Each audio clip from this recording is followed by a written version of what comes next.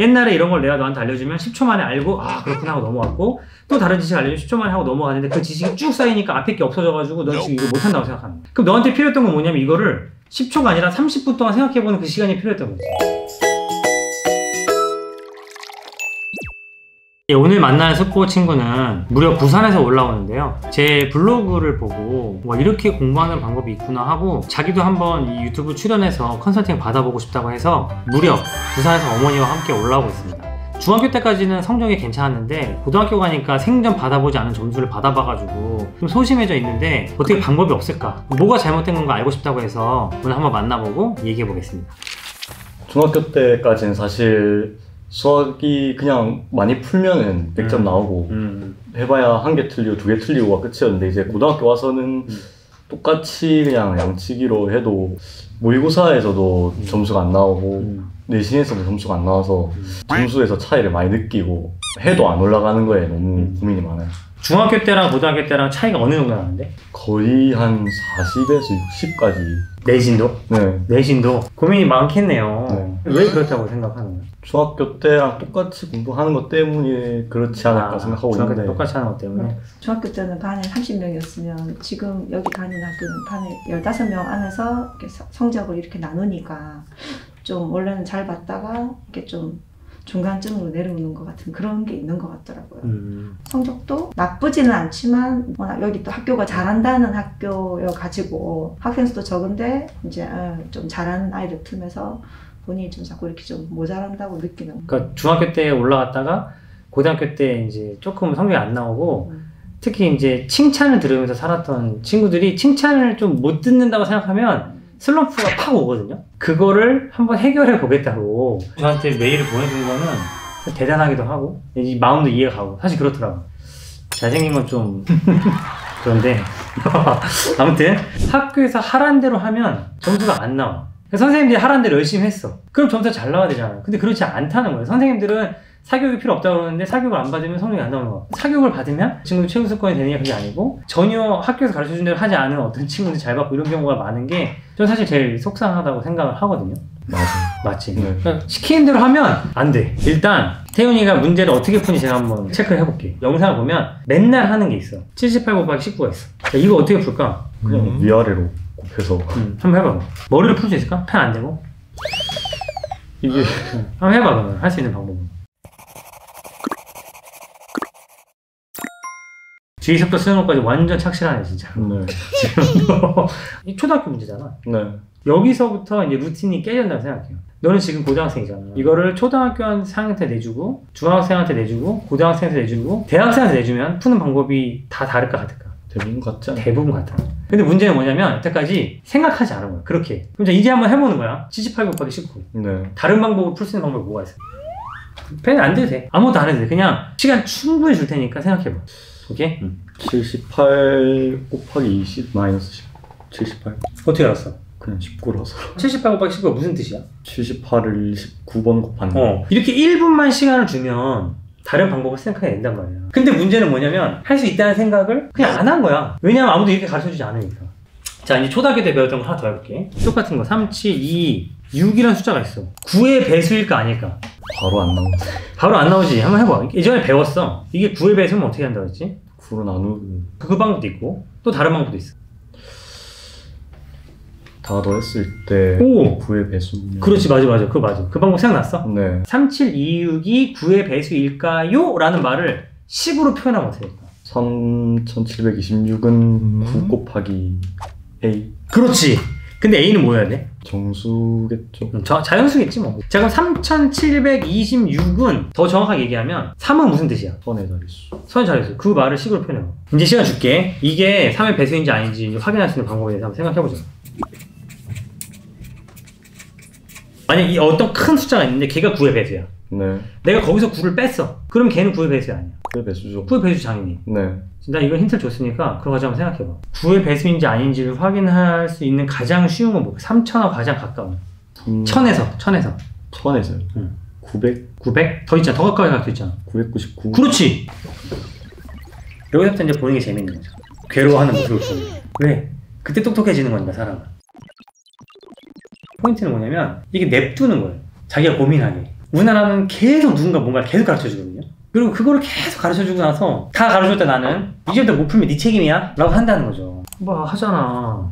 근데 이제 우리가 구회 배수인지 확인하고 싶으니까 네. 뭘 해야 돼? 뭐 묶이면 구회 배수인 거잖아. 네. 묶어봐 그러면. 내가 너 과외하는 학생이었으면은 이거 이거 이것도 말 안 해주고 한 30분 기다려야 되나? 그럼 이제 전 과외를 잘리겠죠. 어. 18. 얘는 무조건 뭐야? 9의 배수죠. 그러면 18도 9의 배수. 9의 배수 여기 9의 배수니까 9의 배수 되는 거야. 어 왜 웃어? 왜 웃어? 허무했지. 네. 어 그거야. 됐어.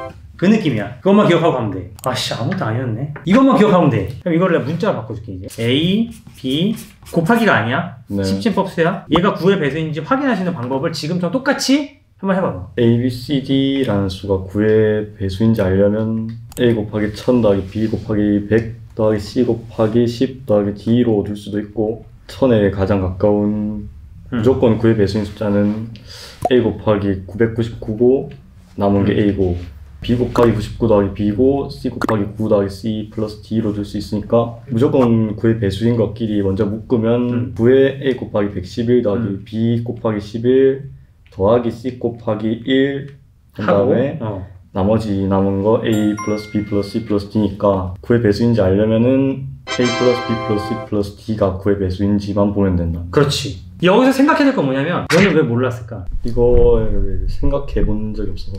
이게 내가 안다고 착각하는 게 커. 3726이라는 숫자를 내가 안다고 착각하는 거야. 아, 당연히 알지. 3726을 누가 몰라. 근데 이 숫자가 아, 3726이 아니라 사실은 어떤 의미다? 3 곱하기 1000이고 플러스 7 곱하기 100이고 2 곱하기 이 숫자가 나한테 와닿느냐가 문제인 거야. 그 니네 반에서 지금도 공부 잘하는 애들이 뭐 대단해서 공부 잘하는 게 아닌 거야. 이거에 대해서 생각해 본 적 있느냐 없느냐. 2의 배수인지 아닌지 확인해. 네. 2의 배수는 다른 말로 하면 뭐라 그러지? 짝수. 그렇지. 2의 배수인지 아닌지 어떻게 알아야 돼? 마지막 1의 자리. 맞아. 왜? 1의 자리만 짝수면 2의 배수니까. 왜? 지금 똑같은 얘기 한 거고. 너는 사랑해? 응, 사랑해. 왜 사랑해? 사랑하니까. 이렇게 한 거고, 어? 아니, 왜 사랑하냐고. 얘가 2의 배수면요. 앞에도 2의 배수라는 말을 식으로 써봐봐.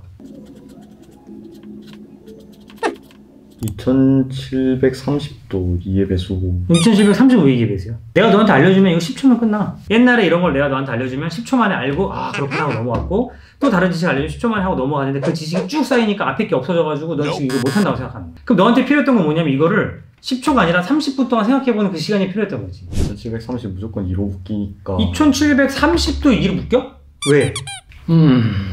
음. 공부 못하는 애들은 이런 게 없어.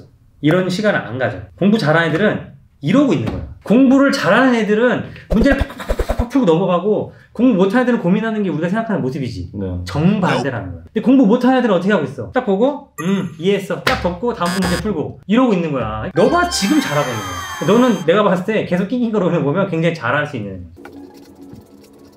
2734가 2의 배수인지 알아보려면은 2734는 2 곱하기 1000 더하기 7 곱하기 100 더하기 3 곱하기 10 더하기 4인데 여기서 1000이랑 100이랑 10은 무조건 2의 배수니까 2로 묶을 수가? 볼수 있어요. 얘만 2의 배수면 네. 앞에가 모든 상관없이 2의 배수라는 거지. 네. 자, 4의 배수. 2744가 있어. 4의 배수가 아니까.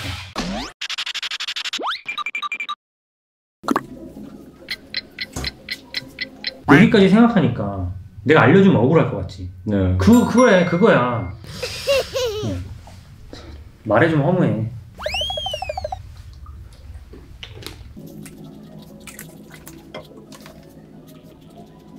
사 44만 4의 배수면 4의 배수. 그렇지. 왜? 앞에 2700은 무조건 4의 그렇지. 배수니까. 2700이 무조건 4로 묶인 이유는 뭐야? 2 곱하기 1000 더하기 7 곱하기 100이라서. 어, 그러니까 100은 4의 배수잖아. 네. 뭐 3700이든 3900이든 무조건 100의 배수. 배수지. 그러니까 걔는 그냥 4의 배수인 거야. 네. 자, 8의 배수. 2744가 8의 배수인지 알아보자. 재밌지? 네. 재밌지? 그래. 이거야. 744만 8의 배수면 2744는 8의 왜 배수. 그런 거야? 천은 무조건 8의 배수라서 천의 자리는 8로 웃기니까. 그러니까 뒤에 744만 8의 배수면 되는 거지. 네. 어떻게 할까? 800, 그렇지. 56. 800은 뭐니까? 무조건 8의 배수. 56 8의 배수 맞아? 네. 8의 배수네. 됐지? 네. 이거 웃는 거 봐. 이거야. 이 느낌이면 되는 거야. 허무하지? 네. 이런 거라고. 어, 이렇게 웃으니까 너무 좋다. 여기까지 질문. 여기까지 해보니까 아무도 안 물었지. 네. 만약에 내가 대학생한테 물어보면 몇명할 거야? 이거 물어보면 생각보다 대답을 못해. 사실 그냥 한 1분, 2분만 생각해보면 할 수 있는 거야. 근데 문제는 뭐냐면 너는 그때까지 그런 생각을 해본 적이 없어. 왜 없는 줄 알아? 잘하고 싶어. 잘하고 싶으니까 어떻게 해야 돼? 앞에 있는 문제들 계속 해결해야 돼. 계속. 그러니까 어떻게 하냐면 이 문제를 내가 못 풀 수는 없으니까 어쨌든 풀 수 있는 방식으로 외우고 넘어가. 그리고 넘어가, 넘어가, 넘어가, 넘어가. 그러면 어떻게 되냐면 나중에 앞에 게 쌓여가지고 뒤에 게 엉망진창이 되는 거야. 근데 아직 늦지 않았어. 내가 새로운 문제가 나왔을 때 이런 생각할 수 있게 연습하는 거야. 그게 끝이야. 세용이 해야 되는 게 뭐냐면 옛날 거를 하면서 내가 진짜 알고 있는 게 맞는지를 확인해보자. 오케이? 네. 음. 여태까지는 했던 건데 모르는 거 한 거잖아. 네. 경찰서 경비서를 배웠어 안 배웠어? 안 배웠어요. 아직 안 배웠지. 네. 자, 그럼 내가 이제 그걸 할 거야.